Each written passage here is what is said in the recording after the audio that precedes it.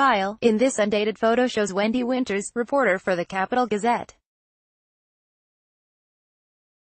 A memorial service is being held for Winters, one of five Maryland newspaper employees killed in a shooting on June 28, 2018.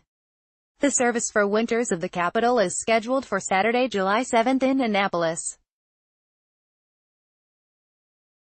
The Baltimore Sun via AP, Washington, Wendi Winters, one of the victims from the Capital Gazette shooting, was memorialized in a service on Saturday at the Maryland Hall for the Creative Arts in Annapolis, Maryland. Winters, a special publications editor at the paper, was killed on June 28 when a shooter targeted the Annapolis newsroom and killed five people. There was only standing room at the service, where many came to pay their respects.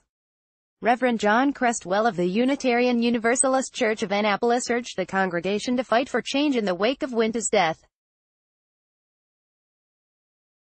In this culture of mass shootings and racism, we must maintain our civility and our humanity, Crestwell said.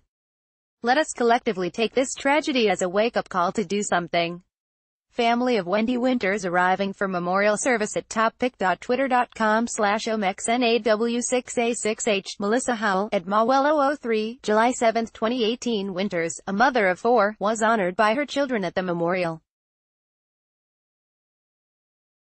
Her son Phoenix Geimer requested in a Facebook post that in lieu of flowers, well-wishers make a donation to the Girl Scouts of America, the American Civil Liberties Union, Planned Parenthood or the American Red Cross.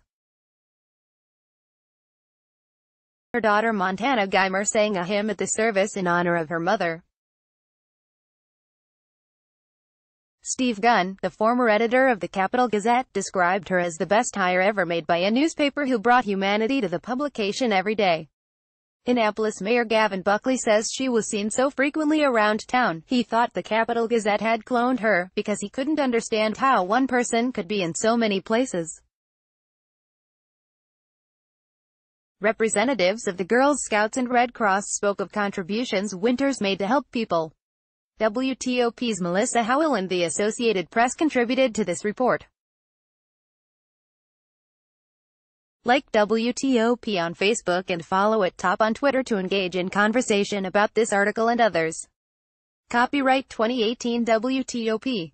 All rights reserved. This website is not intended for users located within the European Economic Area.